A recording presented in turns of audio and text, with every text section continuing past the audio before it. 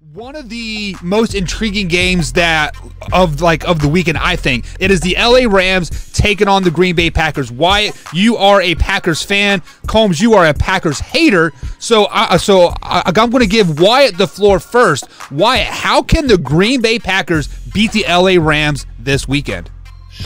First and foremost, yes, what Combs said, show up. No, no, actually, first and foremost, the run defense is going to have to step up.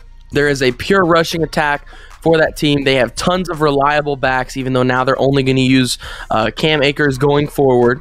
But other than that, they still have a great quarterback. I shouldn't say great. They have a good quarterback in Jared Goff.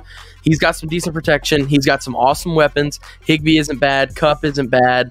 Um, Woods isn't bad. So the defense is definitely going to have to stand up on that and uh, be able to neutralize those weapons. And as for offensive, uh, as for offensive on the offensive offensive side of the ball, excuse me.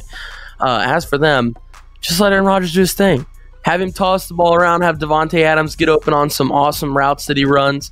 Best route runner in the league. Best receiver in the league uh, and have Tonyan catch a touchdown pass in the end zone. I mean, just nation. do your thing on offense, and the defense is really the one that has You can check out the full episode in the link below in the description, or you can check us live Monday through Thursday, 8 p.m. East Coast time on youtube.com forward slash man hour. Or you can download the podcast form on Spotify and iHeartRadio as well. Man Hour Nation, stand up.